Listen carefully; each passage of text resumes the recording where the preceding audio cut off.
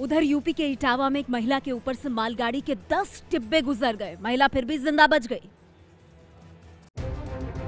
एक, दो, तीन, चार नहीं, मालगाड़ी के पूरे दस डिब्बे इसी तरह पटरी पर पड़ी हुई बुज़ुर्ग महिला के ऊपर से गुजर जाते हैं। तस्वीरें यूपी के इटावा की हैं। चश्मदीदों के मुताबिक 60 साल की बुज़ुर्ग महिला रेलवे क्रॉसिंग पर खड़ी मालगाड़ी के नीचे से पटरी पार कर रही थी। तभी मालगाड़ी चल पड़ी। लोगों के शोर मचाने पर महिला सांस रोककर लेट गई और जब सारे डिब्बे निकल गए, तब जाकर महिला सुरक्षित निकली। ये घटना हर किसी के लिए सबक है कि ऐसी गलती मत कीजिएगा।